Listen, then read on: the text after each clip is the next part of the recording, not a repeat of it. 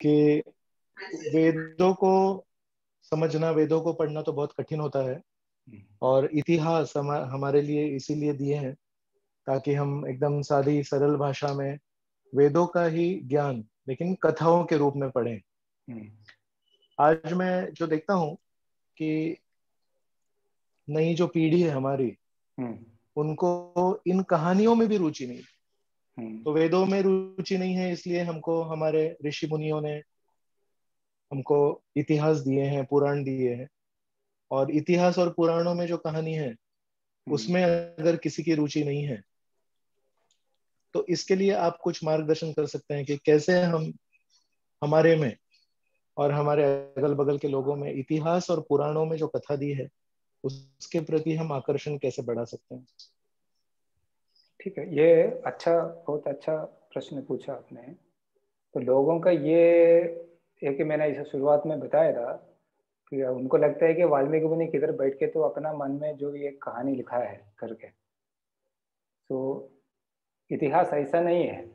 जैसा महाभारत कभी हम लोग कभी बताते हैं ना, ये अभी अपना जो मॉडर्न एजुकेशन सिस्टम है, उसमें ऐसा जो शास्त्रों का ऐसा डिस्टोर्शन किया है वो लोग ने कि जब पानीपत से जाते हैं तो बहुत कुछ बताते हैं। ट्रेन में दिल्ली दिल्ली से अमृतसर जाता है, कुरुक्षेत्र बीच में आता है। कुरुक्षेत्र के बारे में कुछ बताता ही नहीं है वो लोग। ऐसा कुछ जगह एक अभी हम रामायण एक्चुअली हम पढ़ेंगे। उसके लिए पहले हमको खुद पढ़ना चाहिए देन हम उसको कन्विंसिंगली बता सकते हैं लोगों।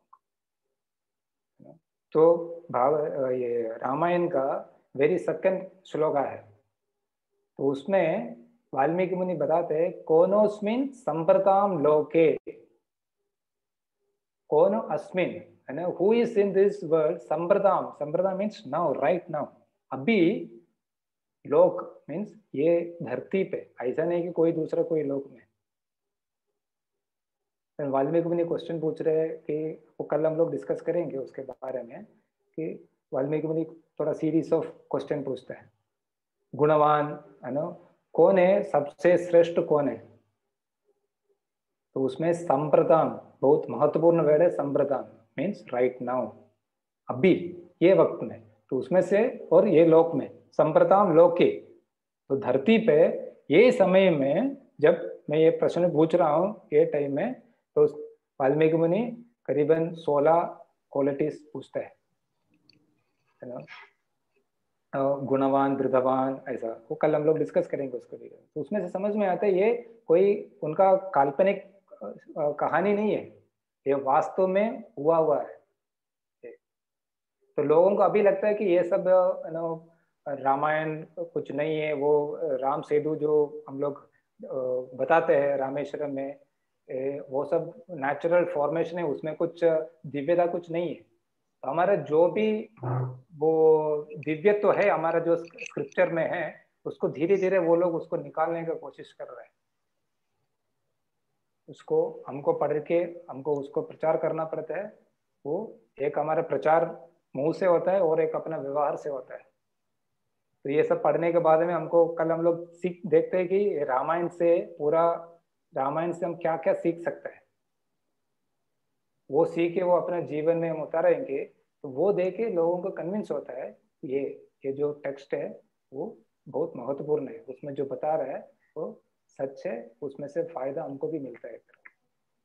बिकॉज़ लोग अभी जो रामायण का कथा करते हैं, वो करते वो कथा करने वाला बोलते एक चीज़ और करते दूसरी चीज़। उनके जीवन में कुछ परिवर्तन नहीं होता है।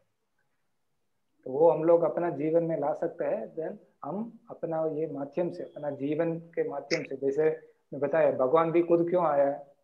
अपना जीवन के माध्यम से वो भक्त जीवों को सिखाना चाहते हैं। तो हम भी हम दूसरे को कुछ बताना चाहते हैं तो अपने जीवन में पहले वो प्रावर्तिक होना चाहिए। उससे हम सिखा सकते हैं। बहुत बहुत धन्यवाद प्रभु जी। हरे कृष्ण। ठीक है।